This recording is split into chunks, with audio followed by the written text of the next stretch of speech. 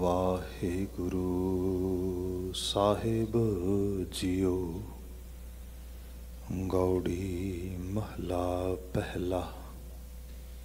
ਕਾਮ ਕ੍ਰੋਧ, ਮਾਇਆ ਮਹਿ ਜੀਤ ਝੂਠ ਵਿਕਾਰ ਜਾਗੈ ਹਿਤ ਚੀਤ।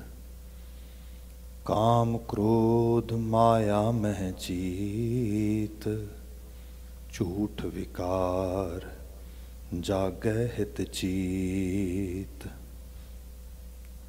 ਪੂੰਜੀ ਪਾਪ ਲੋਭ ਕੀ ਕੀਤ ਤਰਤਾਰੀ ਮਨ ਨਾਮ ਸੁਚੀਤ ਵਾਹ ਵਾਹ ਸਾਚੇ ਮੈਂ ਤੇਰੀ ਟੇਕ।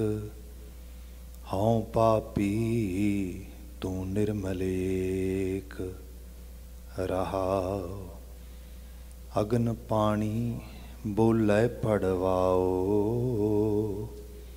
ਜਿਹਵਾ ਇੰਦਰੀ ਏਕ ਸੁਆਓ। ਦਿਸ਼ਟ ਵਿਕਾਰੀ ਨਾਹੀ ਭਉ ਪਹਾਓ। ਆਪ ਮਾਰੇ ਤਾਂ ਪਾਏ ਨਾਉ। ਸ਼ਬਦ ਮਰੈ ਫਿਰ ਮਰਨ ਨਾ ਹੋਏ। ਬਿਨ ਮੂਏ ਕਿਉ ਪੂਰਾ ਹੋਏ। ਪਰ ਪੰਚ ਵਿਆਪ ਰਹਾ ਮਨ ਦੋਏ। ਥਿਰ ਨਾਰਾਇਣ ਕਰੇ ਸੋ ਹੋਏ। ਬੋਹਿਤ ਚੜੋਂ ਜਾਂ ਆਵੈ ਵਾਰ। ਠਾਕੇ ਬੋਹਿਤ ਦਰਗਹਿ ਮਾਰ। ਸੱਚ ਸਾਲਾਹੀ ਧਨ ਗੁਰਦੁਆਰ, ਨਾਨਕ ਦਰ ਕਰ ਏਕੰਕਾਰ। ਬੋਹਿਤ ਚੜੋਂ ਨ ਆਵੈ ਵਾਰ, ਠਾਕੇ ਬੋਹਿਤ ਦਰਗਹਿ ਮਾਰ। ਸੱਚ ਸਾਲਾਹੀ ਧਨ ਗੁਰਦੁਆਰ, ਨਾਨਕ ਦਰ ਕਰ ਏਕੰਕਾਰ। ਵਾਹਿਗੁਰੂ ਜੀ ਕਾ ਖਾਲਸਾ, ਵਾਹਿਗੁਰੂ ਜੀ ਕੀ ਫਤਿਹ। ਜੁਗੋ ਜੁਗੋ ਟਲ ਤਨ ਤਨ ਗੁਰੂ ਗ੍ਰੰਥ ਸਾਹਿਬ ਜੀ। ਗੁਰੂ ਪਾਤਸ਼ਾਹ ਜੀ ਦੀ ਅਪਾਰ ਬਖਸ਼ਿਸ਼। ਟਲਦੀ ਸ਼ਾਮ, ਹੁਣ ਟਾਰੀਓ ਖਾਲਸਾ ਦਰਬਾਰ ਦੇ ਨਾ ਪਾਵਨ ਦੀਵਾਨਾ ਵਿੱਚ ਅਸੀਂ ਹਾਜ਼ਰੀਨ ਹੋ ਪਾ ਰਹੇ ਹਾਂ ਵਡਭਾਗੀ ਹਾਂ। ਗੁਰਬਾਣੀ ਕੀਰਤਨ ਆਪ ਸਰੋਤ ਕਰ ਰਹੇ ਸੀ। ਹੁਣ ਸਮਾਂ ਗੁਰੂ ਸ਼ਬਦ ਵਿਆਖਿਆ ਦਾ ਹੈ, ਜਿਸ ਵਿੱਚ ਲੜੀਵਾਰ ਜੋ ਗੁਰਬਾਣੀ ਵਿਆਖਿਆਨ ਅਸੀਂ ਕਰਦੇ ਹਾਂ, ਇਸ ਅੰਦਰ ਗੌੜੀ ਰਾਗ ਚੱਲ ਰਿਹਾ ਹੈ। ਗੁਰੂ ਨਾਨਕ ਸਾਹਿਬ ਦੁਆਰਾ ਮਹੱਲਾ ਪਹਿਲਾ ਦੇ ਸਰਨਾਵੇਂ ਹੇਠ ਵਾਲੇ ਬਚਨ ਜੋ ਨੇ ਭਾਵ ਗੁਰੂ ਨਾਨਕ ਸਾਹਿਬ ਦੇ ਪਹਿਲੇ ਜਾਮੇ 'ਚ ਉਚਰਿਤ ਕੀਤੀ ਗਈ ਪਾਵਨ ਬਾਣੀ ਸਾਨੂੰ ਪ੍ਰਾਪਤ ਹੈ। ਜੋ ਪਾਵਨ ਸ਼ਬਦ ਆਪਨੇ ਸਰਵਨ ਕੀਤਾ ਹੈ, ਇਸ ਦੀ ਵਿਚਾਰ ਬੀਤੇ ਕੋਈ ਗਾਲਬਨ ਦੋ ਰੋਜ਼ ਪਹਿਲਾਂ ਅਸੀਂ ਪ੍ਰਾਰੰਭ ਕੀਤੀ ਸੀ। ਆ, ਦੋ ਦਿਨ ਦੀ ਗੈਰ ਹਾਜ਼ਰੀ ਰਹੀ, ਸੋ ਇਸ ਕਰਕੇ ਅਸੀਂ ਬਚਨ ਨੂੰ ਅੱਗੇ ਨਾ ਵਿਵੇਚਿਤ ਕਰ ਪਾਏ। ਰਹਾਉ ਦੇ ਬੰਦ ਨੂੰ ਅਸੀਂ ਵਿਚਾਰਿਆ ਸੀ। ਇੱਕ ਸਰਸਰੀ ਨਜ਼ਰ ਰਹਾਉ ਦੇ ਬੰਦ ਤੇ ਅੱਜ ਹੋਏਗੀ। After that definitely we're going to move toward the next stanzas of this shabad so let's start with the main lines you can say thesis statement of this shabad baba ji is saying here ਵਾਹ ਵਾਹ ਸਾਚੇ ਮੈਂ ਤੇਰੀ ਟੇਕ ਹਉ ਪਾਪੀ ਤੂੰ ਨਿਰਮਲ ਏਕ ਰਹਾਉ ਵਾਹ ਵਾਹ ਸਾਚੇ ਮੈਂ ਤੇਰੀ ਟੇਕ ਆਪਾਂ ਇਹਨੂੰ ਐਕਸਪਲੇਨ ਕਰਦੇ ਆਂ ਅੰਡਰਸਟੈਂਡ ਕੀਤਾ ਸੀਗਾ ਕਿ ਬੰਦੇ ਦੇ ਵਰਡਸ ਦੀ ਵੀ ਇੱਕ ਲਿਮਿਟ ਆ। ਤੁਸੀਂ ਆਪਣੇ ਲਫ਼ਜ਼ਾਂ ਨੂੰ ਇੱਕ ਹੱਦ ਤੱਕ ਹੀ ਉਹਦੇ ਵਿੱਚ ਕੁਝ ਚੀਜ਼ ਪਾ ਕੇ ਬਿਆਨ ਕਰ ਸਕਦੇ ਹੋ। ਖਾਸ ਕਰਕੇ ਜਦੋਂ ਤੁਹਾਡੇ ਇਮੋਸ਼ਨਸ ਦੇ ਵਿੱਚ, ਤੁਹਾਡੇ ਭਾਵ ਦੇ ਵਿੱਚ ਕੁਝ ਇਹੋ ਜਿਹਾ ਐਕਸਪੀਰੀਅੰਸ ਹੋਏ ਜਿਹਨੂੰ ਕਨਵੇ ਕਰਨਾ, ਲਫ਼ਜ਼ਾਂ ਦੇ ਵਿੱਚ ਮੁਨਾਸਬ ਨਾ ਹੋਏ then we speak very specific words ਤੇ ਲੈਂਗੁਇਸਟਿਕ ਸਾਈਡ ਸਾਈਡ ਤੋਂ ਭਾਸ਼ਾਈ ਪਰਿਪੇਖ ਤੋਂ ਦੁਨੀਆ ਭਰ ਦੀਆਂ ਜ਼ਬਾਨਾਂ ਦੇ ਵਿੱਚ ਤੁਹਾਨੂੰ ਇਸ ਕਿਸਮ ਦੀ ਲਿਮਿਟੇਸ਼ਨ ਦੇ ਨਾਲ ਵਰਡਸ ਮਿਲ ਜਾਣਗੇ। ਜਿਵੇਂ ਆਪਾਂ ਜੇ ਅੰਗਰੇਜ਼ੀ ਭਾਸ਼ਾ ਦੀ ਗੱਲ ਕਰਦੇ ਹਾਂ then when we are totally, you can say beyond our words, what can we say? Wonder or wonderful. ਮਤਲਬ ਅਮੇਜ਼ਡ ਹੋ ਗਏ। What else we can say? ਸਾਡੇ ਕੋਲ ਲਫ਼ਜ਼ਾਂ ਦੀ ਜਿਹੜੀ ਹੈ ਲਿਮਿਟ ਬਿਲਕੁਲ ਖਤਮ ਹੋ ਗਈ। ਸਾਡੇ ਆਪਣੇ ਭਾਸ਼ਾਈ ਪੱਖ ਤੋਂ ਅਸੀਂ ਬਾਤ ਕਰੀਏ ਤੇ ਖਾਸ ਕਰਕੇ ਅਪਰਭੰਸ਼ ਤੇ ਪ੍ਰਕਿਰਤ ਭਾਸ਼ਾ ਪੰਜਾਬੀ ਦੇ ਮੂਲ ਵਿੱਚੋਂ ਜੋ ਅਸੀਂ ਆ ਰਹੇ ਹਾਂ, ਉਹਦੇ ਅੰਦਰ ਇਹ ਹੈ ਕਿ ਜਦੋਂ ਅਸੀਂ ਬਿਲਕੁਲ ਹਾ ਕਿਸੇ ਇੱਕ ਐਸੇ ਤਜਰਬੇ ਤੇ ਹੋਈਏ ਕਿ ਜਿੱਥੇ ਲਫ਼ਜ਼ ਸਾਨੂੰ ਲੱਭ ਨਹੀਂ ਰਹੇ ਜਾਂ ਸਾਡੇ ਖਤਮ ਹੋ ਗਏ, ਅਸੀਂ ਕਹਿੰਦੇ ਆ ਵਾਹ, what else we can say you know, beyond my actual explanation, beyond my words, ਵਾਹ। ਤੇ ਇੱਥੇ ਜਾ ਕੇ ਲਫ਼ਜ਼ ਬਣਿਆ, ਵਾਹ ਗੁਰੂ ਹੋ ਗੁਰੂ ਤੇਰੀ ਮਹਿਮਾ ਮੇਰੇ ਬਿਆਨ ਕਰਨ ਤੋਂ ਕਿਤੇ ਵੱਡੀ ਹੈ। ਉਸ ਇਨਫਿਨਿਟੀ ਨੂੰ ਮੈਂ ਕਿਵੇਂ ਬਿਆਨ ਕਰਾਂਗਾ? ਉਸ ਹਸਤੀ ਨੂੰ ਜਿਹਦੀ ਕੋਈ ਲਿਮਿਟ ਹੀ ਨਹੀਂ, ਬਾਣੀ 'ਚ ਬੜੇ ਰੰਗ ਨੇ। ਅਸੀਂ ਕਿਤੇ ਸ਼ਬਦ ਪੜ੍ਹਦੇ ਆ ਮਹਾਰਾਜ ਬਿਆਨ ਕਰਦੇ, ਅੰਮ੍ਰਿਤ ਪ੍ਰਵਾਹ ਸਰ ਅਤੁਲ ਭੰਡਾਰ ਪਰ, ਪਰੇ ਹੀ ਤੇ ਪਰੇ ਅਪਰ ਅਪਾਰ ਪਰ। हे ਪਰਿਪੂਰਨ, ਤੂੰ ਨਾ ਆਤਮਿਕ ਜੀਵਨ ਦਾ ਖਜ਼ਾਨਾ ਆ। ਅੰਮ੍ਰਿਤ ਪ੍ਰਵਾਹ ਸਰ, ਸਮੁੰਦਰ ਹੈ ਪੂਰਾ ਦਾ ਪੂਰਾ ਨੈਕਟਰ ਦਾ ਅੰਮ੍ਰਿਤ ਦਾ। ਅਤੁੱਲ ਭੰਡਾਰ, ਜੋ ਤੇਰੀਆਂ ਨਵਾਜ਼ਿਸ਼ਾਂ ਨੇ ਉਹਨੂੰ ਕੋਈ ਤਕੜੀ ਕਰਕੇ ਕਿਵੇਂ ਤੋਲੇਗਾ? ਕਿਵੇਂ ਕੋਈ ਐਵੈਲੂਏਟ ਕਰੇਗਾ? ਸਾਡੇ ਕੋਲੇ ਨਹੀਂ ਪਾਇਆ ਨਹੀਂਗੀ ਹਾਂ, ਇਹ ਕਿਹਾ ਜਾ ਸਕਦਾ ਹੈ, ਪਰੇ ਹੀ ਤੇ ਪਰੇ। ਮਤਲਬ ਪਰਾਂ ਤੋਂ ਪਰਾਂ ਪਰਾਂ ਤੋਂ ਪਰਾਂ। ਤੇ ਫਿਰ ਕਹਿੰਦੇ ਕਹਿੰਦੇ ਕਹਤਾ ਅਪਾਰ infinite what else we can say ਜਿੱਥੇ ਲਿਮਿਟ ਕੋਈ ਨਹੀਂ ਨਾ ਉਰਵਾਰਲਾ, ਨਾ ਪਾਰਲਾ ਬੰਨਾ ਕੋਈ ਨਹੀਂ ਦਿਸਦਾ। ਫਿਰ ਵਾਹ ਹੈ। ਇਸ ਤਰ੍ਹਾਂ ਜਾਣੋ ਕਿ ਮਨੁੱਖੀ ਜੀਵਨ ਤਜਰਬੇ ਦੀ ਲਹਿਰ ਨੂੰ ਫੜਦਾ, ਫਿਰ ਉਸ ਤਜਰਬੇ ਦੀ ਲਹਿਰ ਦੇ ਵਿੱਚ ਆਪਣਾ ਕਹਿ ਲੋ ਕਿ ਇੱਕ ਆਪਣੀ ਕੌਨਫੀਡੈਂਸ ਦੀ ਲੈਵਲ ਇੱਕ ਆਪਣੀ ਈਗੋ ਨੂੰ ਬੂਸਟ ਕਰਦਾ ਆ। ਜਿਵੇਂ ਜਿਵੇਂ ਉਹਦਾ ਤਜਰਬਾ ਥੋੜਾ ਵੱਧਦਾ ਤੁਹਾਨੂੰ ਲੱਗਦਾ ਕਿ ਉਹਦੀ ਈਗੋ ਵੱਧ ਰਹੀ, ਉਹਦੀ, ਉਹਦਾ ਕੌਨਫੀਡੈਂਸ ਵੱਧ ਰਿਹਾ। ਪਰ ਜਿੱਥੇ ਅਜੇ ਈਗੋ ਹੈ, ਜਿੱਥੇ ਜੇ ਕੌਨਫੀਡੈਂਸ ਦੇ ਲੈਵਲ 'ਚ ਇਹ ਹੈ ਵੀ yes I am something that mean ਬੜਾ ਲਿਮਟਿਡ ਆ। ਜਿੱਥੇ ਬੰਦਾ ਉਸ ਤੋਂ ਬਿਲਕੁਲ ਜਿਵੇਂ ਸਪੋਜ਼ ਕਰੋ ਕਿ ਇੱਕ ਸਾਡਾ ਥ੍ਰੈਸ਼ਹੋਲਡ ਆ ਹਨਾ? ਥ੍ਰੈਸ਼ਹੋਲਡ ਦਾ ਗ੍ਰੈਵਿਟੀ ਹੈਗੀ ਹੈ। ਜਿਵੇਂ ਉਸ ਤੋਂ ਬਿਯੋਂਡ ਹੋ ਗਏ ਦੈਨ ਕੋਈ ਗ੍ਰੈਵਿਟੀ ਨਹੀਂ ਹੈਗੀ, ਕੋਈ ਪਕੜ ਨਹੀਂ ਹੈਗੀ। ਫਿਰ ਆਜ਼ਾਦ ਹੈ। ਐਗਜ਼ੈਕਟਲੀ ਸਾਡੇ ਇੱਕ ਬ੍ਰੇਨ ਦੀ, ਸਾਡੇ ਇੱਕ ਇੰਟੈਲੈਕਟ ਦੀ ਇੱਕ ਲਿਮਿਟੇਸ਼ਨ ਹੁੰਦੀ ਹੈ। ਉਸ ਲਿਮਿਟੇਸ਼ਨ ਤੱਕ ਹੀ ਬੰਦਾ ਸੋਚਦਾ ਆ। ਤੇ ਇਹ ਚੀਜ਼ਾਂ ਗਿਆਨ ਪਰਿਪੇਖ ਵਿੱਚ ਵੀ ਆਉਂਦੀਆਂ ਨੇ, ਤਜਰਬੇ ਦੇ ਪਰਿਪੇਖ ਵਿੱਚ ਵੀ ਆਉਂਦੀਆਂ ਨੇ। and we can say beyond that ਜਿਵੇਂ ਅਸੀਂ ਬਖਸ਼ਿਸ਼ ਨਵਾਜ਼ਿਸ਼ ਦੀ ਗੱਲ ਵੀ ਕਰਦੇ ਆ ਕਈ ਵਾਰ ਕੋਈ ਸ਼ਖਸ ਹੈ ਬਹੁਤੀਆਂ ਕਿਤਾਬਾਂ ਨਹੀਂ ਪੜੀਆਂ ਤਜਰਬਾ ਵੀ ਬਹੁਤਾ ਨਹੀਂ ਗੱਲ ਐਸੀ ਕਰਦਾ ਬੰਦਾ ਕਹਿੰਦਾ ਹੱਦ ਹੋ ਗਈ ਤੇ ਕਈ ਵਾਰੀ ਗੱਲ ਉਹਦੇ ਦਿਮਾਗ ਤੋਂ ਨਹੀਂ ਆ ਰਹੀ ਕਿ ਦਿਲ ਤੋਂ ਆ ਰਹੀ ਹੈ ਅੰਦਰ ਦਾ ਭਾਵ ਹੈ ਕੋਈ ਐਸਾ ਤੇ ਜੇ ਕਿਤੇ ਉਹ ਭਾਵ ਵਾਕਿਆ 'ਚ ਉਸ ਉਹਦੇ ਭਾਵ ਨੂੰ ਉਹ ਵੀ ਅੰਡਰਸਟੈਂਡ ਕਰ ਜਾਏ ਵਟ ਆਮ ਸੇਇੰਗ ਹੇਅਰ ਇਹਦੀ मीनिंग ਕੀ ਨੇ ਕਮਾਲ ਹੀ ਹੋ ਜਾਏ ਇੱਥੇ ਜਾ ਕੇ ਫਿਰ ਬੰਦਾ ਜਿਹੜਾ ਹੈਗਾ, ਉਹ ਸਾਧ ਰੂਪ ਵਿੱਚ ਪੁੱਗ ਜਾਂਦਾ ਆ। ਸੋ ਸਾਹਿਬ ਨੇ ਬਿਆਨ ਕੀਤਾ, ਗੁਰੂ ਨਾਨਕ ਸਾਹਿਬ ਇੱਥੇ ਬਿਆਨ ਕਰਦੇ, ਵਾਹ ਵਾਹ ਸਾਚੇ, ਮੈਂ ਤੇਰੀ ਟੇਕ, ਮੈਂ ਤੇਰੀ ਟੇਕ ਲੈਣਾ ਮੈਂ ਤੇਰਾ ਓਟ ਆਸਰਾ ਤੱਕਦਾ, ਪਰ ਮੇਰੇ ਵਾਸਤੇ ਤੂੰ ਕਿਸੇ ਐਕਸਪਲੇਨੇਸ਼ਨ ਦਾ ਮੁਹਾਤ ਮੁਹਤਾਜ ਨਹੀਂਗਾ ਤੇ ਨਾ ਹੀ ਮੈਂ ਤੈਨੂੰ ਐਕਸਪਲੇਨ ਕਰ ਸਕਦਾ। ਮੈਂ ਤੇਰੇ ਵਾਸਤੇ ਵਾਹ ਕਹਿ ਰਿਹਾ। ਹਉ ਪਾਪੀ ਤੂੰ ਨਿਰਮਲ ਏਕ। ਕਈ ਵਾਰ ਬੰਦਾ ਸੋਚਦਾ ਮੇਰਾ ਤੇ ਰੱਬ ਦਾ ਕੋਈ ਮੈਚ ਨਹੀਂਗਾ। ਮੇਰਾ ਤੇ ਨਾਂ ਲੈ ਕੇ ਕਿਸੇ ਦਾ ਜੀ ਨਹੀਂ ਕਰਦਾ ਵੀ ਗੱਲ ਕਰਨ ਨੂੰ ਵੀ, ਤੇ ਰੱਬ ਦਾ ਨਾਂ ਤੇ ਸੁੱਚਾ ਆ। ਮਤਲਬ ਮਿਸਮੈਚ ਦੋਨਾਂ ਦੇ ਵਿੱਚ ਇਸ ਰੂਪ ਦੇ ਵਿੱਚ ਆ, ਪਰ ਇਹ ਵੀ ਕਮਾਲ ਹੈ, ਇਹ ਵੀ ਵਾਹ ਹੈ। ਮੁਝ ਪਾਪੀ ਤੂੰ ਤੂੰ ਨਵਾਜਦਾ ਆ ਸਵਾਸ ਸਵਾਸ ਨਵਾਜਦਾ ਆ ਸਾਹ ਸਾਹ ਨਵਾਜਦਾ ਆ।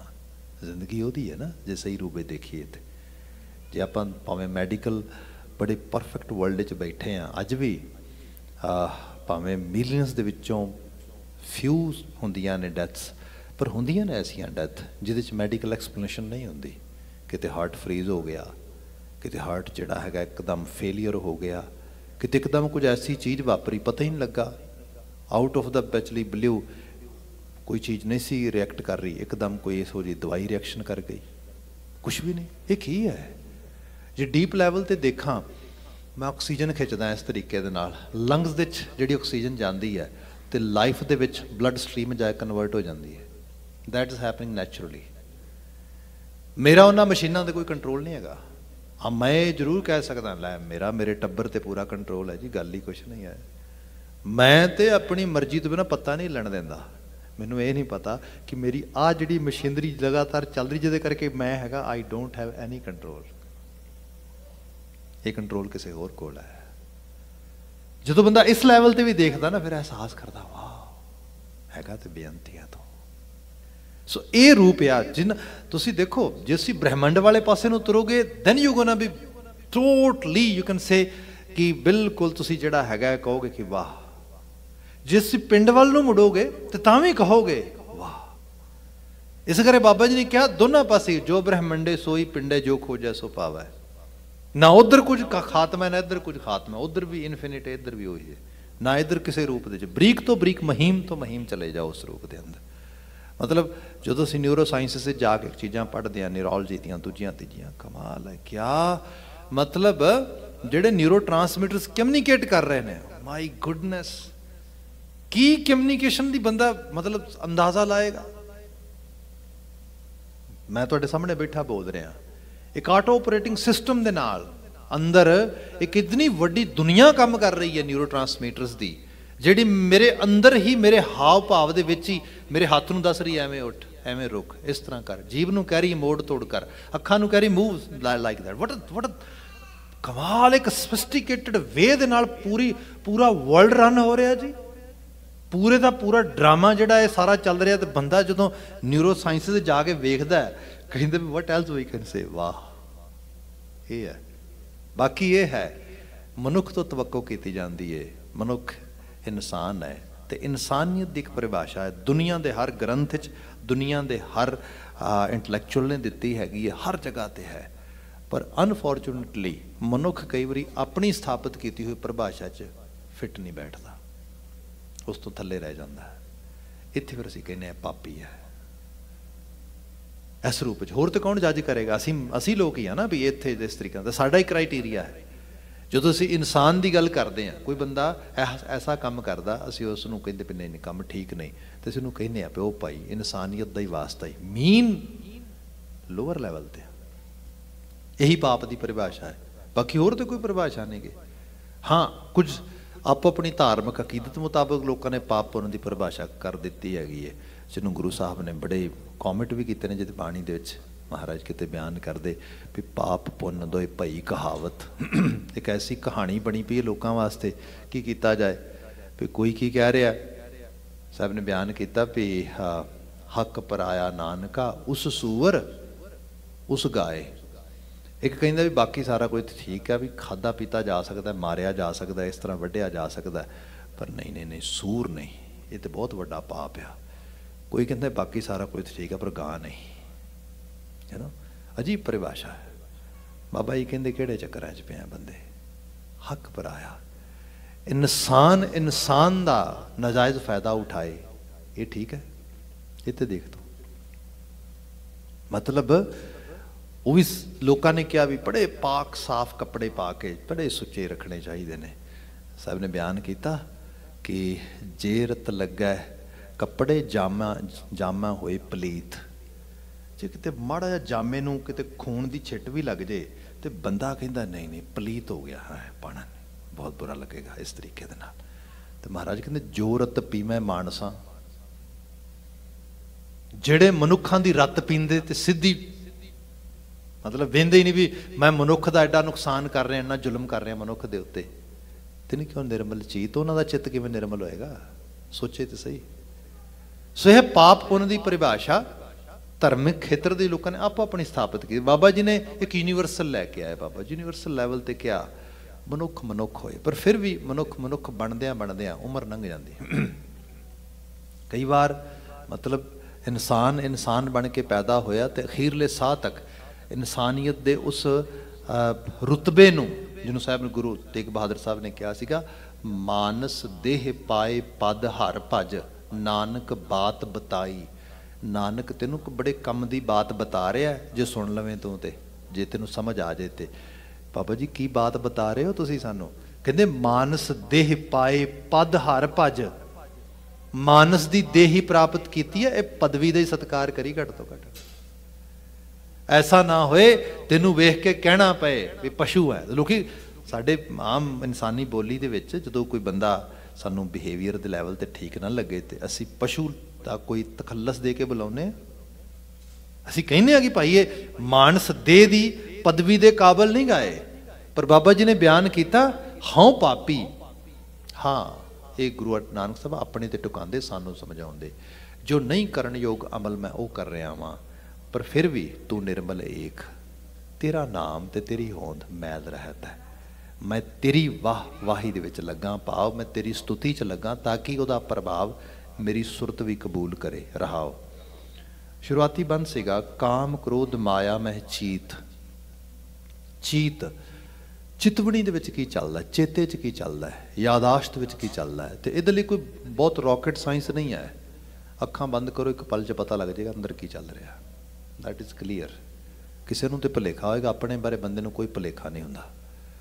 ਮੋਸਟਲੀ ਦੋ ਹੀ ਚੀਜ਼ਾਂ ਚੱਲਦੀਆਂ ਨੇ ਆਈਦਰ ਵਾਸ਼ਨਾ ਤੇ ਦੂਸਰਾ ਐਗਰੈਸ਼ਨ ਕ੍ਰੋਧਾ ਵਿਰਤੀ ਬੀਤੇ ਦੇ ਵਿੱਚ ਆ ਪਿਛਲੇ ਪਲ ਗੁਜਰੇ ਤੋਂ ਲੈ ਕੇ ਤੇ ਪਿਛਲੇ ਸਮੇਂ ਤੱਕ, ਜਿੱਥੇ ਕਿਤੇ ਵੀ ਥੋੜਾ ਬਹੁਤਾ ਧੱਕਾ ਹੋਇਆ, ਜਿੱਥੇ ਕਿਤੇ ਕੋਈ ਆਪਣੀ ਪੇਸ਼ ਨਹੀਂ ਗਈ, ਜਿੱਥੇ ਕਿਤੇ ਆਪਣੇ ਤਰੀਕੇ ਨਾਲ ਕਰਨਾ ਚਾਹੁੰਦਾ ਸੀ, ਨਹੀਂ ਹੋ ਪਾਇਆ, ਉਹ ਸਾਰੇ ਦੇ ਬਾਬਤ ਇੱਕ ਗੁੱਸਾ ਹੀ ਪੰਡ ਵੱਜੀ ਅੰਦਰ। ਉਹ ਖੁੱਲਦੀ ਨਹੀਂ ਅਗਰੈਸ਼ਨ ਹੈ ਉਹਦੇ ਬਾਰੇ। ਉਹਦੇ ਬਾਰੇ ਅੰਦਰ ਅਜੀਬ ਤਰ੍ਹਾਂ ਦੀ ਇੱਕ ਨਫ਼ਰਤ ਵੀ ਹੈ, ਇੱਕ ਅੰਦਰ ਗੁੱਸਾ, ਸਭ ਚੀਜ਼ਾਂ ਲੈ ਕੇ ਇਕੱਠੇ ਬੈਠਾ ਹੈ। ਇਹ ਚਿਤਵਣੀ ਹੈ। ਜਾਂ ਜਾਂ ਫਿਰ ਬਹੁਤ ਸਾਰੀ ਵਾਸ਼ਨਾ ਹੈ। ਉਹ ਵਾਸ਼ਨਾ ਇਹ ਵੀ ਬੰਦੇ ਦੇ ਅੰਦਰ ਲਗਾਤਾਰ ਭਰੀ ਜਾ ਰਹੀ ਹੈ। ਚਿਤਵਣੀ 'ਚ ਹੀ ਚੱਲ ਰਿਹਾ ਸਾਰਾ ਕੁਝ ਸੋ ਸਾਹਿਬ ਬਿਆਨ ਕਰਦੇ ਕਿ ਕਾਮ ਕ੍ਰੋਧ, ਮਾਇਆ ਮੈਂ ਚੀਤ, ਝੂਠ ਵਿਕਾਰ ਜਾਗੇ ਹਿਤ ਚੀਤ, ਝੂਠ ਵਿਕਾਰ ਜਾਗੇ ਹਿਤ ਚੀਤ। ਵੈਸੇ ਇਹ ਹੋਣਾ ਨਹੀਂ ਚਾਹੀਦਾ ਕਿ ਬੰਦਾ ਜਿਹੜੀ ਚੀਜ਼ ਗਲਤ ਆ, ਉਹਦੇ ਬਾਬਤ ਹਿੱਤ ਆਵੇ, ਉਹਦੇ ਬਾਬਤ ਸਨੇਹ ਆਵੇ। ਇਸ ਤਰ੍ਹਾਂ ਜਾਣੋ ਕਿ ਆਪਾਂ ਕੱਪੜਾ ਧੋਣ ਲਈ ਲਈਏ, ਮਸ਼ੀਨ 'ਚ ਪਾਈਏ ਜਾਂ ਉਹਨੂੰ ਆਪ ਹੱਥ ਨਾਲ ਧੋਣ ਲੱਗੀਏ। ਸਾਨੂੰ ਕੱਪੜੇ ਤੇ ਤਰਸ ਆਵੇ ਤੇ ਚੰਗਾ ਲੱਗਦਾ ਹੈ। ਕੱਪੜਾ ਬਚਣਾ ਚਾਹੀਦਾ ਪਰ ਅਸੀਂ ਮੈਲ ਤੇ ਤਰਸ ਕਰੀਏ। ਕਿਦਾਂ ਲੱਗੇਗਾ? ਇਹਨਾਂ ਅਪਰੋਪ੍ਰੀਏਟ ਲੱਗੇਗਾ। ਭਾਂਡਾ ਮਾਂਜੋ, ਭਾਂਡੇ ਨੂੰ ਪਿਆਰ ਕਰੋ, ਚੰਗਾ ਆ। ਭਾਂਡੇ ਲਾਈਕ ਕਰ ਦਿਓ ਤੁਸੀਂ, ਭਾਂਡੇ ਨੂੰ ਤੁਸੀਂ ਕੇਅਰ ਕਰੋ, ਠੀਕ ਹੈ। ਪਰ ਭਾਂਡੇ ਨੂੰ ਲੱਗੀ ਹੋਈ ਮੈਲ ਬਚਾਓ। ਦੈਟਸ ਨਾਟ ਗੁੱਡ ਮਨੁੱਖ ਨੂੰ ਇਹ ਮਤਲਬ ਆਪਣੀਆਂ ਆਦਤਾਂ ਉਹ ਜਿਹੜੀਆਂ ਮੈਨੂੰ ਮੇਰੇ ਨੂੰ ਸੋਭਦੀਆਂ ਨਹੀਂ ਗੀਆਂ ਮੈਂ ਉਹਨਾਂ ਨੂੰ ਜਸਟੀਫਾਈ ਕਰਦਾ ਆ ਮੈਂ ਹਿੱਤ ਕਰਦਾ ਉਹਨਾਂ ਨਾਲ। ਇਸੇ ਕਰਕੇ ਦੂਰ ਨਹੀਂ ਹੁੰਦੀਆਂ। ਕੋਈ ਮੈਨੂੰ ਉਹਨਾਂ ਆਦਤਾਂ ਤੇ ਰੋਕ ਕੇ ਵੀ ਮੈਨੂੰ ਬੁਰਾ ਲੱਗਦਾ ਹੈ। ਵੀ ਕਿਉਂ ਬੁਰਾ ਲੱਗਦਾ ਹੈ? ਆਦਤ ਬੁਰੀ ਲੱਗਣੀ ਚਾਹੀਦੀ, ਨਹੀਂ ਲੱਗਦੀ, ਉਹ ਬੁਰਾ ਲੱਗਦਾ ਕਿਉਂ ਕਹਿੰਦਾ ਐਵੇਂ? ਇੱਥੇ ਆਦਤ ਦਾ ਹਿੱਤ ਕਰਦਾ ਮੈਂ। ਮਤਲਬ ਬੜੀ ਬਾਬੇ ਦੀ ਬਾਣ, ਬਾਬਾ ਜੀ ਦੀ ਬਾਣੀ ਜਦੋਂ ਪੜ੍ਹਦੇ ਬੰਦਾ ਕਹਿੰਦਾ, ਕਮਾਲ ਹੈ ਜੀ, ਇਹ ਤੇ ਮਰ, ਬੰਦੇ ਨੂੰ ਸ਼ੀਸ਼ੇ 'ਚ ਉਤਾਰ ਦਿੰਦੀ ਰੱਖ ਕੇ। ਆ ਮਹਾਰਾਜ ਦੇਖੋ ਤੁਸੀਂ। ਕੋਈ ਸ਼ਖਸ ਹੈ ਉਹ ਜਿੱਤ ਧਰਤੀ ਦੇ ਉੱਤੇ ਇਹ ਗੱਲ ਨਾ ਟੁਕਦੀ ਹੋਏਗੀ? ਸਾਹਿਬ ਨੇ ਬਿਆਨ ਕੀਤਾ, ਕਹਿੰਦੇ, ਝੂਠ ਵਿਕਾਰ ਜਾਗੈ ਹਿਤ ਚੀਤ। ਝੂਠੇ ਵਿਕਾਰਾਂ ਦੇ ਉੱਤੇ ਹਿਤ ਚੀਤ, ਉਹਦੇ ਉੱਤੇ ਉਹ ਹਿਤੂ ਲੱਗ, ਉਹਨਾਂ ਨੂੰ, ਉਹਨਾਂ ਨਾਲ ਸਨੇਹ ਕਰਦਾ, ਉਹਨਾਂ ਨੂੰ ਮਿੱਤਰ ਸਮਝਦਾ। ਪੂੰਜੀ ਪਾਪ ਲੋਭ ਕੀ ਕੀਤ, ਪੂੰਜੀ ਪਾਪ ਲੋਭ ਕੀ ਕੀਤ। ਪੂੰਜੀ ਇਕੱਠੀ ਕਰਦੇ ਆ ਅਸੀਂ। ਕੈਪੀਟਲਸ, ਕੈਪੀਟਲਿਸਟਿਕ ਸੋਸਾਇਟੀ ਨੇ ਇੱਕ ਬੜਾ ਕਹ ਲੋ ਕਿ ਅਜੀਬ ਤਰ੍ਹਾਂ ਦਾ ਸਟੈਂਡਰਡ ਸਾਡੇ ਲਈ ਸੈੱਟ ਕਰ ਦਿੱਤਾ ਆ। ਸਾਡੀ ਮਪਾਇਸ਼ ਰੋਕੜ ਨਾਲ ਹੈ ਬੰਦੇ ਦੀ। ਹਾਲਾਂਕਿ ਬੰਦੇ ਦੀ ਮਪਾਇਸ਼ ਬੰਦੇ ਦੇ ਕਿਰਦਾਰ ਤੇ ਬੰਦੇ ਦੇ ਵਿਹਾਰ ਨਾਲ ਹੁੰਦੀ ਹੈ। ਜੇ ਇਹ ਸੋਸਾਇਟੀ ਨੂੰ ਵੀ ਡੀਪ ਲੈਵਲ ਤੇ ਦੇਖੋਗੇ ਨਾ, ਇੱਥੇ ਇੱਕ ਮਿਲੀਅਨ ਇੱਕ ਮਿਲੀਅਨ ਮਤਲਬ ਰੋਕੜ ਦਾ ਵੀ ਮਾਲਕ ਹੋਏ ਬੰਦਾ, ਪਰ ਉਹਦੀ ਜਿਹੜੀ ਫਾਈਨੈਂਸ਼ੀਅਲ ਲੈਵਲ ਤੇ ਕ੍ਰੈਡੀਬਿਲਿਟੀ ਹੈਗੀ ਹੈ ਨਾ ਕ੍ਰੈਡਿਟ ਸਕੋਰ ਜਿਹਨੂੰ ਕਹਿੰਦੇ ਆ, ਉਹ ਠੀਕ ਨਾ ਹੋਏ, ਉਹ ਮਿਲੀਅਨ ਡਾਲਰ ਵੀ ਉਹਦਾ ਕਿਸੇ ਕੰਮ ਦਾ ਨਹੀਂਗਾ ਕਿ ਜਿਹੜੀ ਕ੍ਰੈਡੀਬਿਲਿਟੀ ਹੈਗੀ ਏ ਕ੍ਰੈਡੀਬਿਲਿਟੀ ਉਹਦੇ ਵਿਹਾਰ ਹੈ, ਉਹ ਕਿਸੇ ਨੂੰ ਲੈ ਕੇ ਵਾਪਸ ਦੇਣ ਦੇ ਵਿੱਚ ਇਤਬਾਰ ਕੀਤਾ ਜਾ ਸਕਦਾ ਉਹਦੇ ਉੱਤੇ। ਇਹ ਜਿਹੜੀਆਂ ਚੀਜ਼ਾਂ ਨੇ, ਇਹ ਬੰਦੇ ਦੀ ਪੂੰਜੀ ਹੈ। ਮੈਂ ਕਈ ਵਾਰੀ ਤੇ ਯੰਗ ਬੱਚਿਆਂ ਨੂੰ ਸਮਝਾਉਂਦਾ ਹੁੰਦਾ, ਮੈਂ ਕਹਿੰਦਾ ਜੇ ਸੋਸਾਇਟੀ 'ਚ ਬੈਠੇ ਹੋ ਥਿਸ ਇਜ਼ ਲੈਂਡ ਆਫ ਓਪਰਚੁਨਿਟੀਆਂ ਇਹਦੇ 'ਚ ਕੋਈ ਸ਼ੱਕ ਨਹੀਂਗਾ। ਪਰ ਤਿੰਨ ਚੀਜ਼ਾਂ ਤੇ ਬੜੇ ਧਿਆਨ ਨਾਲ ਕੰਮ ਕਰਿਆ ਜੇ। ਨੰਬਰ 1 ਜਿਹੜਾ ਇੱਥੇ ਤੁਹਾਡਾ ਡਰਾਈਵਿੰਗ ਲਾਇਸੈਂਸ ਹੈ ਨਾ, ਇਹ ਤੁਹਾਡੀਆਂ ਲੱਤਾਂ ਨੇ। ਇਹਨੂੰ ਇਸ ਤਰ੍ਹਾਂ ਇਸ ਤਰ੍ਹਾਂ ਡੀਲ ਕਰਿਆ ਜੇ। ਵੀ ਜਿਵੇਂ ਤੁਹਾਡੀਆਂ ਲੱਤਾਂ ਨੂੰ ਕਿਸੇ ਹਾਲਤ ਦੇ ਵਿੱਚ ਵੀ ਭਾਵੇਂ ਕਾਲੀ ਤੁਰਦਿਆਂ, ਹੌਲੀ ਤੁਰਦਿਆਂ, ਇਹਨਾਂ ਨੂੰ ਠੋਕਰ ਨਹੀਂ ਲੱਗਣੀ ਚਾਹੀਦੀ। ਬਸ ਇਹ ਧਿਆਨ ਰੱਖਿਆ ਜਾਵੇ driving license is your actually you can say ਜਿਹੜੀ ਇੱਕ ਤਰ੍ਹਾਂ ਦੀ ਮੋਬਿਲਿਟੀ ਹੈ ਤੁਹਾਡੀ। ਤੁਹਾਡੀ ਮੂਵਮੈਂਟ ਦਾ ਉਹ ਸਭ ਤੋਂ ਵੱਡਾ ਜਿਹੜਾ ਉਹ ਰੂਪ ਆ। ਦੂਸਰਾ, ਤੁਹਾਡੀ ਫਾਈਨੈਂਸ਼ੀਅਲ ਜਿਹੜੀ ਖਾਸ ਕਰਕੇ ਕ੍ਰੈਡਿਟ, ਕ੍ਰੈਡੀਬਿਲਿਟੀ ਹੈਗੀ ਹੈ ਤੁਹਾਡਾ, ਉਹ ਕ੍ਰੈਡਿਟ ਲਾਈਫ ਸਾਰਾ ਕੁਝ ਹੈਗਾ ਉਹਦੇ ਤੇ। ਇਹਨਾਂ ਨੂੰ ਫਿਰ ਤੀਸਰੀ ਚੀਜ਼ ਜਿਹੜੀ ਹੈ ਲੀਗਲ ਸਿਸਟਮ ਦੇ ਨਾਲ, ਕਿਤੇ ਵੀ ਕਿਸੇ ਕਿਸ ਤਰੀਕੇ ਦੇ ਨਾਲ ਕੋਈ ਮਤਲਬ ਉਹ ਕਰਨ ਦੀ ਟਰਾਈ ਨਹੀਂ ਕਰਨੀ। ਫਾਲਸ ਪਲੇ ਕਹਿ ਲਓ, ਕਿਸੇ ਰੂਪ ਦੇ ਵਿੱਚ ਵੀ। ਕਿਉਂਕਿ ਇੱਥੇ ਕੁਝ ਵੀ ਐਸਾ ਨਹੀਂਗਾ ਜੋ ਇੱਕ ਵਾਰੀ ਕਿਤੇ ਲਿਖਿਆ ਗਿਆ ਤੇ ਮੁੜ ਕੇ ਤੁਸੀਂ ਮਿਟੇ ਦਿਓ। ਨਾ ਦੈਟ ਇਜ਼ ਰਿਕਾਰਡ ਇਹ ਮੰਨ ਕੇ ਚੱਲੋ। ਲੋਕੀ ਇੱਥੇ ਹੁੰਦੇ, ਮੇਰੇ ਇੱਥੇ ਬੜੇ ਪਿਆਰੇ ਸੱਜਣ ਹੈਗੇ ਨੇ। 에어ਪੋਰਟ ਤੇ ਟੈਕਸੀ ਡਰਾਈਵ ਕਰਦੇ। ਉਮਰ ਗੁਜ਼ਾਰੀ ਉਹਨਾਂ ਨੇ। ਕਾਫੀ ਸਾਲ ਪਹਿਲਾਂ ਦੀ ਗੱਲ ਕਹਿੰਦੇ ਕਹਿੰਦੇ ਮੈਂ ਟੈਕਸੀ ਵਾਲੀ ਲਾਈਨ 'ਚ ਰੋਜ਼ ਖੜਾ ਉੱਥੇ ਕਮਿਸ਼ਨਰ ਹੁੰਦੇ ਨੇ। ਕਮਿਸ਼ਨਰ ਨੇ ਗੱਡੀ ਕਾਲ ਕੀਤੀ, ਮੈਂ ਗਿਆ ਬੰਦਾ ਅੰਦਰੋਂ ਆਇਆ ਅੰਦਰੋਂ ਆ ਕੇ ਉਸਨੇ ਆਪਣਾ ਟੈਚੀ ਕੇਸ ਜਿਹੜਾ ਹੈਗਾ ਉਹ ਚੱਕ ਕੇ ਇਸ ਤਰੀਕੇ ਨਾਲ ਸੱਟਿਆ ਫਲੋਰ ਦੇ ਉੱਤੇ ਤੇ ਬਸ ਕਦੀ ਇੱਧਰ ਨੂੰ ਤੁਰਿਆ ਜਾਏ, ਕਦੀ ਲੱਤ ਐਵੇਂ ਕਰੇ ਸ਼ੂਜ਼ ਉਹਦਾ ਉਹ ਉੱਥੇ ਗਿਆ ਦੂਰ, ਕਦੀ ਇਸ ਪਾਸੇ ਆਪਣੇ ਮੁੱਕਾ ਮਾਰੇ, ਕਦੀ ਇਸ ਤਰੀਕੇ ਨਾਲ। ਅਜੀਬ ਹਾਲਤ, ਮੈਂ ਕਮਿਸ਼ਨਰ ਵੱਲ ਵੇਖਿਆ, ਕਮਿਸ਼ਨਰ ਮੇਰੇ ਵੱਲ ਵੇਖੇ ਵੀ ਬੰਦੇ ਨੂੰ ਹੋਇਆ ਕੀ ਹੈ? ਅਸੀਂ ਉਹਨੂੰ ਕਾਮ ਡਾਊਨ ਕਰਨ ਦੀ ਟਰਾਈ ਕੀਤੀ ਤੇ ਉਹ ਕਹਿੰਦੇ just give me 2 more minutes 2 minute ਹੋਰ ਲਏ, ਉਹਨੇ ਕੋ ਥੱਪੜ ਥੁੱਪੜ ਚੰਗੇ ਲਾਏ ਆਪਣੇ 2 ਮਿੰਟਾਂ ਦੇ ਵਿੱਚ। ਫਿਰ ਉਹ ਥੋੜਾ ਕਾਮ ਹੋ ਗਿਆ। ਤੇ ਅਸੀਂ ਕਿਹਾ ਵੀ ਜਦੋਂ ਕਹਿੰਦਾ ਕਾਲ 911 ਕਰੀਏ, ਤੈਨੂੰ ਕੋਈ ਮੈਂਟਲ ਕਹਿੰਦਾ ਨਹੀਂ, ਐਸਾ ਕੁਝ ਨਹੀਂਗਾ ਖੈਰ, ਕਹਿੰਦਾ ਫਿਰ ਮੈਨੂੰ ਬੜੇ ਭਲੇ ਮਾਨਸਾਂ ਤਰ੍ਹਾਂ ਕਹਿੰਦਾ ਮੈਂ ਫਲਾਂ ਜਗ੍ਹਾ ਤੇ ਜਾਣਾ ਆਪਣਾ ਐਡਰੈਸ ਦੇਤਾ, ਗੱਡੀ 'ਚ ਬੈਠ ਗਿਆ। ਕਹਿੰਦੇ ਮੈਨੂੰ ਵੀ ਥੋੜਾ ਫਿਕਰ ਹੋਇਆ ਵੀ ਗੱਡੀ 'ਚ ਬੜੇ ਆਰਾਮ ਨਾਲ ਬੈਠ ਗਿਆ। ਇਸ ਤਰ੍ਹਾਂ ਲੱਗਦਾ ਜਿਵੇਂ ਬਾਈਪੋਲਰ ਹੁੰਦਾ ਵੀ ਹੁਣ ਕੁਝ ਹੋਰ ਸੀਗਾ, ਹੁਣ ਕੁਝ ਹੋਰ ਹੈ ਯੂ نو ਬੰਦਾ ਜਿਵੇਂ ਡੂਅਲ ਪਰਸਨੈਲਿਟੀ ਡਿਸਆਰਡਰ ਕੈਰੀ ਕਰੀ ਫਿਰਦਾ ਹੈਗਾ। ਖੈਰ as a taxi driver have to actually provide him right ਹੈ ਨਾ? ਇਹਦਾ ਰਾਈਟ ਸੀਗਾ। ਅਸੀਂ ਤੁਰੇ ਜਾਂਦੇ ਮੈਂ ਉਹਨੂੰ ਪੁੱਛਿਆ ਵੀ if you feel okay then I really want to know what's wrong with you ਉਹ ਕਹਿੰਦਾ ਕੁਝ ਨਹੀਂ। ਕਹਿੰਦਾ, ਮੈਂ ਸਵੇਰੇ ਇੱਥੋਂ ਫਲਾਈ ਕਰਕੇ ਨਾ ਗਿਆ ਸੀਗਾ ਜੋ ਹੈ ਥੱਲੇ ਸਟੇਟਸ ਦੇ ਥੱਲੇ ਪਾਸੇ ਲੋਕੀ ਕਾਫੀ ਜਾਂਦੇ, ਛੋਟਾ ਜਿਹਾ ਕੰਟਰੀ ਕਮਿਊਨਿਸਟ ਕੰਟਰੀ ਹੈਗਾ।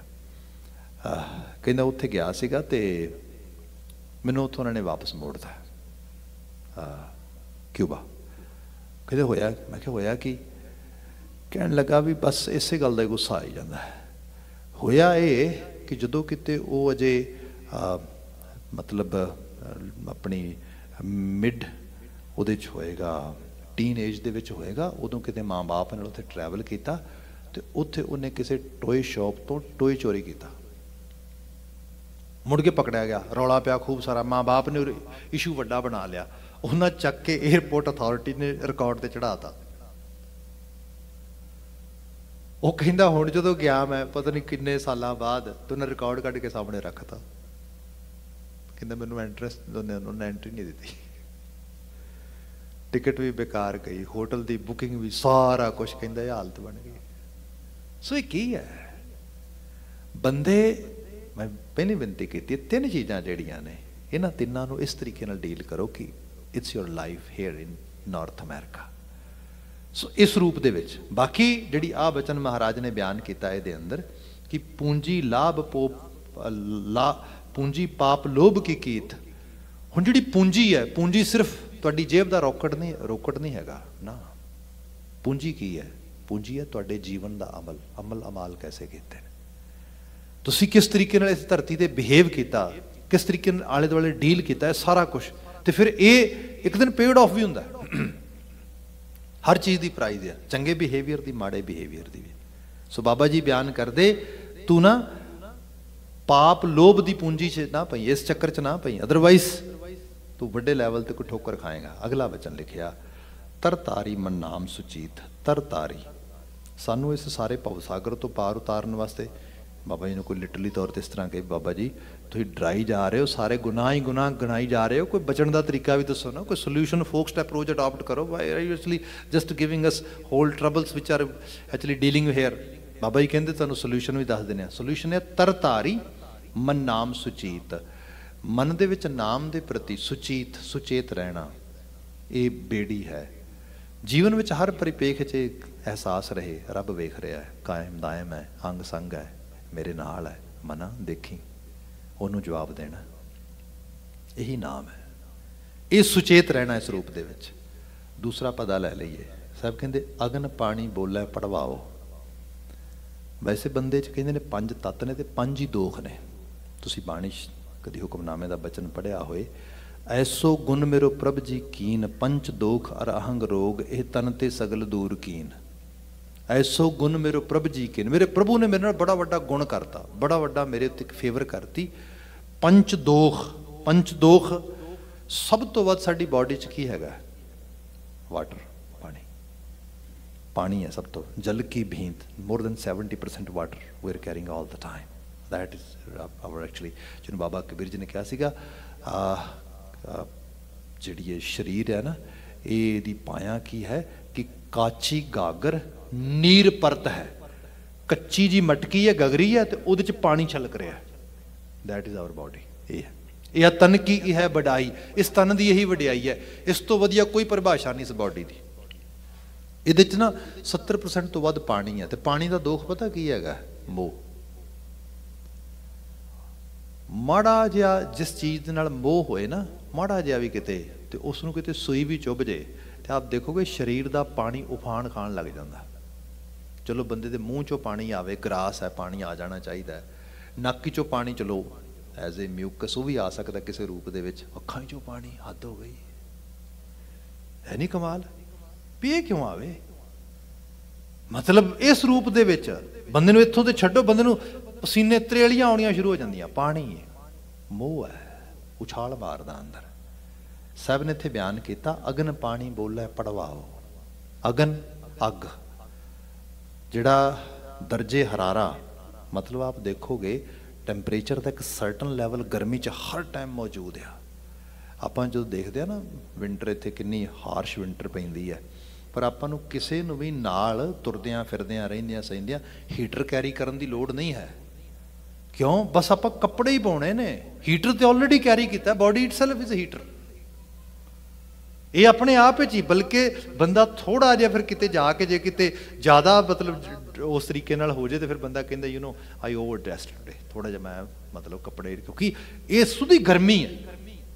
ਅੱਗ ਹੀ ਸਾਰੀ। ਅੱਗ ਦਾ ਇੱਕ ਪੂਰਾ ਦਾ ਪੂਰਾ ਜਿਹੜਾ ਅਸੀਂ ਇੱਕ ਬਬਲ ਇਸ ਤਰੀਕੇ ਨਾਲ ਕੈਰੀ ਕਰਕੇ ਤੁਰੇ ਫਿਰਦੇ ਆ ਉਸ ਰੂਪ ਦੇ ਵਿੱਚ। ਪਰ ਕੱਲੀ ਅੱਗ ਇਸ ਤਰੀਕੇ ਨਾਲ ਹੀ, ਅੱਗ ਦਾ ਦੋਖ ਬੜਾ ਵੱਡਾ ਆ। ਆਪ ਦੇਖੋਗੇ, ਅੱਗ ਸਾਨੂੰ ਮਦਦ ਕਰਦੀ ਹੈ। ਆਪਾਂ ਆਪਣੀ ਲੋੜ ਦੇ ਮੁਤਾਬਕ, ਸਰੀਰ ਦੇ ਮੁਤਾਬਕ ਅਨਾਜ ਕੋਈ 500 ਗ੍ਰਾਮ, ਕੋਈ 700 ਗ੍ਰਾਮ, ਕੋਈ 1 ਕੇਜੀ, ਕੋਈ 1.5 ਕੇਜੀ ਖਾ ਜਾਂਦਾ। ਮਤਲਬ ਕੋਈ ਨਟਸ ਹੀ ਚੱਬੀ ਜਾਂਦਾ, ਕੋਈ 200 ਗ੍ਰਾਮ ਨਟਸ ਚੱਬ ਜਾਂਦਾ, ਏਡੇ ਏਡੇ ਮੋٹے ਪੱਥਰ ਵਰਗੇ ਡਾਢੇ। ਕੋਈ ਹੋਰ ਚੀਜ਼, ਡਾਢੀ ਬ੍ਰੈਡ ਖਾ ਜਾਂਦਾ ਕੋਈ ਇਸ ਤਰੀਕੇ ਦੇ ਨਾਲ। ਤੇ ਕਮਾਲ ਹੈ, ਸਰੀਰ ਦੀ ਗਰਮੀ ਸਭ ਕਾਸੇ ਨੂੰ ਗਾਲ ਦਿੰਦੀ। ਇਹ ਇਹ ਦਰਜੇ ਹਰਾਰੇ ਦਾ ਕੰਮ ਹੈ, ਗਰਮੀ ਦਾ ਕੰਮ ਹੈ। ਪਰ ਜਿਸ ਬੰਦੇ ਨੂੰ ਤੁਸੀਂ ਮਤਲਬ ਰੋਜ਼ ਦਾ 2 ਕਿਲੋ ਅਨਾਜ ਹਜਮ ਕਰਾ ਦਿਓ 2 ਕਿਲੋ ਸਰੂਪ ਦੇ ਵਿੱਚ ਕਰ ਜੇ ਉਸੇ ਬੰਦੇ ਨੂੰ ਮਾੜੀ ਜੀ ਗੱਲ ਕਹਿ ਦਿਓ, ਕੋਈ ਐਸੀ ਗੱਲ ਪਿੰਚ ਕਰੇ, ਕਹੇ ਵੀ ਬਸ ਅੱਜ ਜਾਂ ਤੂੰ ਹੈ ਨਹੀਂ ਆ ਮੈਂ ਨਹੀਂ ਨੇ ਪੜਿਆ ਕੰਮ। ਉਹ ਭਾਈ ਕਮਾਲ, ਇਹ ਹਜਮ ਡਾਈਜੈਸਟ ਨਹੀਂ ਹੁੰਦੀ। ਗਰਮੀ ਇਹ ਹੈ ਗਰਮੀ। ਇੱਕਦਮ ਆਪੇ ਤੋਂ ਬਾ ਕ੍ਰੋਧ। ਇਹ ਦੋਖ ਹੈ ਦਾ। ਸੋ ਇਸ ਰੂਪ ਦੇ ਚ ਬਾਬਾ ਜੀ ਕਹਿੰਦੇ, ਅਗਨ ਪਾਣੀ ਬੋਲੇ ਪੜਵਾਓ। ਬੰਦਾ ਮੋਹ ਦੀ ਪਾਇਆਂ ਦੇ ਵਿੱਚ ਆਪ ਦੇਖੋਗੇ, ਜਿਹੜੀ ਮਾਂ ਬੱਚਿਆਂ ਲਈ ਸਵੇਰੇ ਸ਼ਾਮ ਸ਼ਾਮ ਅਰਦਾਸਾਂ ਕਰਦੀ, ਰੱਬਾ ਮੇਰੇ ਬੱਚਿਆਂ ਦਾ ਆ ਵੀ ਕਰਦੀ ਆ ਵੀ ਕਰਦੀ ਆ ਵੀ ਕਰਦੀ, ਨਾ ਨੀਂਦ ਆਉਂਦੀ, ਨਾ ਉਹ ਹਰ ਵਕਤ ਤਿਆਰ ਪਰ ਤਿਆਰ ਰਹਿੰਦੀ। ਪਰ ਜਦੋਂ ਮੋਹ ਦੀ ਮਾਰੀ ਹੋਈ, ਬੱਚਾ ਆਖੇ ਨਾ ਲੱਗਦਾ ਜਾਂ ਲੱਗਦਾ ਕਿ ਬੱਚੇ ਨੂੰ ਜਿਵੇਂ ਕਹਿ ਰਹੀ ਰਹੀਆਂ ਉਵੇਂ ਨਹੀਂ ਕਰ ਰਿਹਾ, ਇਹਦੀ ਜ਼ਿੰਦਗੀ ਖਰਾਬ ਹੋ ਜਾਏਗੀ, ਉਹੀ ਮਾਂ ਜਦੋਂ ਕਲਪਦੀ ਵੇਖੋ ਤੁਸੀਂ ਪੜਵਾਹੋ ਬੰਦਾ ਕਹੇਗਾ, ਕੋਈ ਹੋਰ ਨਹੀਂ ਇਹੋ ਜਿਹੇ ਲਫ਼ਜ਼ ਕਹਿ ਸਕਦਾ ਜਿਹੋ ਜਿਹੇ ਮਾਂ ਕਹਿ ਰਹੀ ਆ ਹਾਂ ਭਾਈ ਪੜਵਾਹੋ ਪੜਕ ਰਹੀ ਆ। ਮੋਹ, ਜਿਹਨੂੰ ਕਈ ਵਾਰੀ ਓਨਰ ਕਿਲਿੰਗ ਕਿਹਾ ਜਾਂਦਾ ਨਾ ਮੈਂ ਪ੍ਰਿਜ਼ਨਸ 'ਚ ਕੰਮ ਕਰ ਰਿਹਾ ਕਾਫੀ ਲੰਬੇ ਸਮੇਂ ਤੋਂ ਇੱਥੇ। ਮੈਂ ਬੜੇ ਇਹੋ ਜਿਹੇ ਕੇਸਿਸ ਦੇਖੇ। ਹਾਲਾਂਕਿ ਅਸੀਂ ਤੁਹਾਨੂੰ ਡਿਸਓਨਰ ਕਿਲਿੰਗ ਕਹਿੰਦੇ ਓਨਰ ਕਾਹਦਾ ਆ? ਫੈਮਿਲੀ ਓਨਰ ਵਾਸਤੇ ਜਦੋਂ ਬੱਚਿਆਂ, ਖਾਸ ਕਰਕੇ ਬੱਚੀਆਂ ਨੂੰ ਕਈ ਵਾਰੀ ਸ਼ਿਕਾਰ ਬਣਾਇਆ ਜਾਂਦਾ ਇਸ ਰੂਪ ਦੇ ਵਿੱਚ। ਐਕਚੁਅਲੀ ਤੁਸੀਂ ਉਹਨਾਂ ਲੋਕਾਂ ਨੂੰ ਕਦੀ ਮਿਲੋ, ਮੈਂ ਬੜਿਆਂ ਨੂੰ ਮਿਲਿਆ। ਮਤ ਜਾਣੋ ਕਿ ਆਪਣੇ ਬੱਚਿਆਂ ਨੂੰ ਪਿਆਰ ਨਹੀਂ ਕਰਦੇ। ਨਾ। ਬਲਕਿ ਮੋਹ ਦੇ ਮਾਰੇ ਹੋਏ ਨੇ। ਬਾਬਾ ਜੀ ਨੇ ਬਾਣੀ 'ਚ ਬਹੁਤ ਸਾਰੇ ਪਰਿੰਦਿਆਂ ਦੀ, ਜਾਨਵਰਾਂ ਦੀ, ਕੀਟ ਮਕੌੜਾਂ ਦੀ ਗੱਲ ਕੀਤੀ, ਸੱਪ ਦੀ ਵੀ ਬੜੀ ਗੱਲ ਕੀਤੀ। ਸੱਪ ਸਰਪਣੀ ਜਿਹੜੀ ਹੈ ਬਹੁਤ ਮੋਹ ਦੀ ਤਸਵੀਰ ਹੈ। ਜਦੋਂ ਸਰਪਣੀ ਆਂਡੇ ਦੇ ਦਿੰਦੀ ਹੈ ਨਾ, ਤੇ ਉਹ ਆਂਡਿਆਂ ਦੇ ਆਲੇ ਦੁਆਲੇ ਕੁੰਡਲ ਮਾਰ ਕੇ ਬੈਠ ਜਾਂਦੀ ਹੈ। ਉਹ ਭੁੱਖੀ ਉੱਥੇ ਬੈਠੀ ਰਹਿੰਦੀ ਹੈ। ਉਹਨੂੰ ਇੰਨਾ ਹੁੰਦਾ ਕਿਉਂਕਿ ਉਹਨੇ ਸਾਰੀ ਦੁਨੀਆ ਦੇ ਆਂਡੇ ਖਾਦੇ ਹੁੰਦੇ ਨੇ, ਸਰਪਣੀ ਨੇ ਆਪ। ਸੱਪ ਆਂਡੇ ਬਹੁਤ ਖਾਂਦਾ ਪਤਾ ਸਾਨੂੰ ਸ਼ਾਇਦ ਪਤਾ, ਸਭ ਤੋਂ ਵਧੀਆ ਖੁਰਾਕ ਜਿਹੜੀ ਹੈ ਜਾਂ ਉਮਦਾ ਜਿਹੜੀ ਉਹਦੀ ਕਹਿੰਦੇ ਮੰਨੋ, ਮੰਨੀ ਜਾਏ ਵੀ ਜਿਹੜੀ ਦੀ ਚੋਇਸ ਹੈ ਫਰੂ ਫੂਡ ਚ ਆਂਡੇ ਨੇ, ਉਹ ਦਰਖਤਾਂ ਚੜ ਕੇ ਕਾਵਾਂ ਦੇ ਸਾਰੇ ਆਂਡੇ, ਉਹ ਮੋਸਟਲੀ ਸੱਪ ਖਾਂਦਾ ਆਂਡੇ। ਹੁਣ ਉਹਨੇ ਇੰਨੇ ਲੋਕਾਂ ਦੇ ਆਂਡੇ ਖਾਦੇ ਨੇ, ਆਪਣੇ ਆਂਡੇ ਜੋ ਦਿੱਤੇ ਉਹਨੇ ਉਸ ਨੂੰ ਲੱਗਦਾ ਹੈ ਮੇਰੇ ਆਂਡੇ ਨਾ ਕੋ ਖਾ ਜਾਏ। ਉਹ ਕੁੰਡਲ ਮਾਰ ਕੇ ਬੈਠ ਜਾਂਦੀ ਭੁੱਖੀ, ਉੱਥੇ ਤੜਪਦੀ ਹੁੰਦਾ ਕਿ ਜਦੋਂ ਹੀ ਆਂਡਾ ਟੁੱਟਦਾ ਤੇ ਵਿੱਚੋਂ ਮਤਲਬ ਉਹਦਾ ਬੱਚਾ ਸਪੋਲਾ ਬਾਹਰ ਨਿਕਲਦਾ ਤੇ ਉਹ ਇੱਕਦਮ ਬਾਹਰ ਨੂੰ ਭੱਜਦਾ, ਉਹਨੂੰ ਰੋਕਦੀ। ਉਹ ਕਹਿੰਦੀ ਏ, ਤੇ ਦੁਨੀਆ ਪਤਾ, ਤੂੰ ਮਾਰਿਆ ਜਾਏਗਾ, ਤੂੰ ਠਹਿਰ ਹਾਲੀ ਇੱਥੇ ਇੱਥੇ ਰੁਕ। ਉਹ ਕਹਿੰਦਾ, ਹੱਦ ਹੋ ਗਈ, ਮੈਂ ਦੁਨੀਆ ਦੇਖੜੀ ਹੈ ਮੈਨੂੰ ਤੇ ਬੜੀ ਮੁਸ਼ਕਲ ਦੇ ਨਾਲ। ਉਹ ਭੱਜਦਾ, ਜਦੋਂ ਰੁਕਦਾ ਨਾ, ਫਿਰ ਉਹ ਖਾ ਜਾਂਦੀ। ਗੁੱਸੇ ਚ ਆਏ। ਮੋਹ ਦੀ ਇੰਤਹਾ ਆਇਆ ਹੈ। ਕਹਿੰਦੇ ਨੇ ਸਰਪਣੀ ਆਪਣੇ ਬੱਚੇ ਆਪ ਹੀ ਖਾ ਜਾਂਦੀ, ਇਸੇ ਕਰਕੇ ਖਾ ਜਾਂਦੀ ਆ। ਇਹ ਨਹੀਂ ਕਿ ਉਹਨਾਂ ਦੇ ਦੁਸ਼ਮਣ ਹੁੰਦੀ, ਨਾ। ਉਹ ਰੋਕਦੀ ਉਹਨਾਂ ਨੂੰ ਟਰਾਈ ਕਰਦੀ। ਪਰ ਟਰਾਈ ਕਰਦੇ ਕਿੰਨਾ ਕਿੰਨਾ ਟਰਾਈ ਕਰੇਗੀ ਉਹ? ਆਖਰਕਾਰ ਉਹਦੇ ਕੋਲ ਉਹਦੇ ਕੋਲ ਕਿਹੜਾ ਹੱਥ ਨੇ ਕੁਝ ਹੋਰ ਹੈ? ਉਹਦੇ ਕੋਲ ਫਿਰ ਮੂੰਹ ਹੀ ਬਚਦਾ ਹੈ। ਫਿਰ ਮੂੰਹ 'ਚ ਪਾ ਲੈਂਦੀ ਇਸ ਤਰੀਕੇ ਦੇ ਨਾਲ। ਮੋਹ ਤੇ ਕ੍ਰੋਧ ਦੇ ਬਹੁਤ ক্লোਜ਼ ਬਾਏ ਚੱਲਦੇ ਨੇ ਸਰੂਪ ਦੇ ਵਿੱਚ। ਸਾਹਿਬ ਨੇ ਬਿਆਨ ਕੀਤਾ, ਬਾਣੀ ਹੈ ਗੁਰੂ ਨਾਨਕ ਸਾਹਿਬ ਦੀ, ਕਮਾਲ ਹੈ। ਜਿਵੇਂ ਜਿਵੇਂ ਤੁਸੀਂ ਡੀਪ ਉਕਰੋਗੇ, ਤੁਹਾਨੂੰ ਲੱਗੇਗਾ, ਕਿਆ ਬਾਬਾ ਜੀ। ਇੱਥੇ ਜਾ ਕੇ ਪਤਾ ਲੱਗਦਾ ਅਧਿਆਤਮਿਕ ਗਿਆਨ ਹੈ। ਮਹਾਰਾਜ ਬਿਆਨ ਕਰਦੇ, ਅਗਨ ਪਾਣੀ ਬੋਲੇ, ਪੜਵਾਓ। ਜੀਵਾ ਇੰਦਰੀ ਇੱਕ ਸਵਾਓ। ਸਮੇਤ ਜੀਵਾ ਦੇ ਸਾਡੇ ਇੰਦਰੀਆਂ ਨੂੰ ਐਟਲੀਸਟ ਇੱਕ ਇੱਕ ਸਵਾਉ ਤੇ ਲੱਗਾ ਹੀ ਹੈ ਨਾ। ਜਿਵੇਂ ਹੁਣ ਜੀਭ ਦਾ ਜੀਭ ਨੂੰ ਖਾਣ ਦਾ ਸਵਾਦ ਹੈ। ਅੱਜ ਮੰਨਿਆ ਜਾ ਰਿਹਾ ਹੈ। ਵੈਸੇ ਤਾਂ ਬਹੁਤ ਸਾਰਾ ਪੁਰਾਣੇ ਤੋਂ ਪੁਰਾਣਾ ਲਿਟਰੇਚਰ ਵੀ ਲਿਖਿਆ ਪਿਆ ਸਾਡੇ ਕੋਲ। ਆਹਾਰ, ਰੋਗ, ਆਹਾਰ ਚਿਕਿਤਸਾ। ਫੂਡ ਹੀ ਬਿਮਾਰੀ ਹੈ। ਫੂਡ ਹੀ ਇਲਾਜ ਹੈ।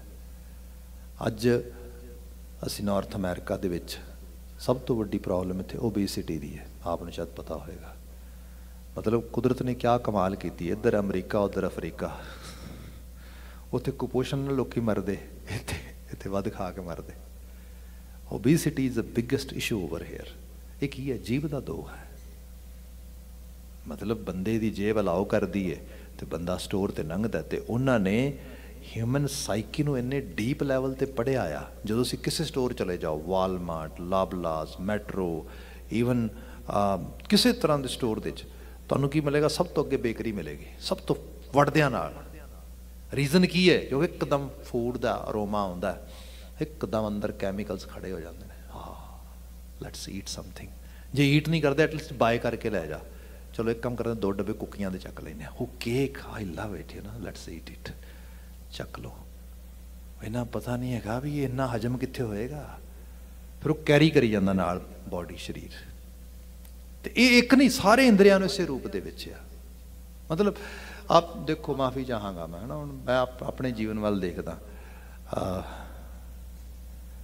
ਟੀਵੀ ਸਕਰੀਨ ਵੇਖਿਆ ਉਮਰਾਂ ਹੋ ਗਈਆਂ। ਟਾਈਮ ਕਿੱਥੇ ਹੈ? ਪਰ ਹਾਂ, ਬੰਦੇ ਨੇ ਨਾ ਚੈਨਲ ਜ਼ਰੂਰ ਬਾਏ ਕਰਕੇ ਰੱਖਿਆ 1000 2000 ਚੈਨਲ ਵੀ ਪਿਆ ਹੋਣਾ ਚਾਹੀਦਾ ਐਟਲੀਸਟ ਜਦੋਂ ਲੋਡ ਪਏ ਵੀ at least I have it ਸਵਾਓ ਇਹਨੂੰ ਬਿਨ ਕੰਨਾਂ ਦਾ ਰਸ ਹਰ ਤਰ੍ਹਾਂ ਦੇ ਰਸਾਂ ਦੀ ਗੱਲ ਹੈ। ਸਹਿਬ, ਬਿਆਨ ਕਰਦੇ ਕਿ ਗੱਲ ਇਹ ਹੈ, ਜੀਵਾ ਇੰਦਰੀ ਇੱਕ ਸਵਾਉ ਦਿਸ਼ਟ ਵਿਕਾਰੀ ਨਾ ਹੀ ਪਉ ਪਾਓ ਦਿਸ਼ਟ ਵਿਕਾਰ, ਇਹਦੇ ਚ ਇਹ ਅਲਾਮਤ ਹੈ ਬੰਦੇ ਦੇ ਨਾਲ ਹੀ ਨਾਲ ਨਾਲ ਹੀ ਚੱਲਦੀ ਹੈ। ਆਪ ਮਾਰੇ ਤਾਂ ਪਾਏ ਨਾਉ, ਹਾਂ, ਜੇ ਆਪਾ ਭਾਵ ਮਾਰਨ ਲਈ ਤਿਆਰ ਹੋ ਜੇ ਫਿਰ ਨਾਮ ਮਿਲ ਜਾਂਦਾ ਹੈ। ਮਤਲਬ ਇਹ, ਜਿੰਨਾ ਅਸੀਂ ਸੈਲਫ ਡਿਸਪਲਿਨ ਨੂੰ ਫੋਲੋ ਕਰਾਂਗੇ, ਨਾਮ ਦੀ ਮਹਿਮਾ ਸਾਡੀ ਸੁਰਤ 'ਚ ਉਨੀ ਵਸੇਗੀ। ਦੋ ਪਦੇ ਹੋਰ ਨੇ, ਜਿਨ੍ਹਾਂ ਦੀ ਵਿਵੇਚਨਾ ਆਉਂਦੇ ਸਮੇਂ 'ਚ ਕਰਾਂਗੇ। ਅੱਜ ਵਾਸਤੇ ਕੋਈ ਸਮਾਂ ਮੈਂ ਕਾਫੀ ਲੈ ਲਿਆ ਹੁਣ। I have to leave it here Baba ji ਸਮੁੱਚੀ ਸਮਾਪਤੀ ਕਰਨਗੇ। ਭੁੱਲਾਂ ਗਲਤੀਆਂ ਨਾ ਚਤਾਰਿਓ ਜੇ। ਆਪ ਸਮੂਹ ਸੰਗਤ ਦਾ ਸਤ ਪ੍ਰੇਮ ਸਰਵਣ ਕਰਨ ਵਾਸਤੇ ਬੜਾ ਧੰਨਵਾਦ। ਭਾਈ ਸਾਹਿਬ ਜੀ ਆਨੰਦ ਸਾਹਿਬ ਦਾ ਜਾਪ ਕਰਕੇ ਸਮਾਪਨ ਕਰਾਉਣਗੇ। ਮੈਨੂੰ ਇਜਾਜ਼ਤ ਦੇ ਦੇਣੀ। ਕਹਿ ਦੇਣਾ ਜੀ, ਆਵਾਜ਼ ਦੇ ਕੇ। ਵਾਹਿਗੁਰੂ ਜੀ ਕਾ ਖਾਲਸਾ। ਵਾਹਿਗੁਰੂ ਜੀ ਕੀ ਫਤਿਹ।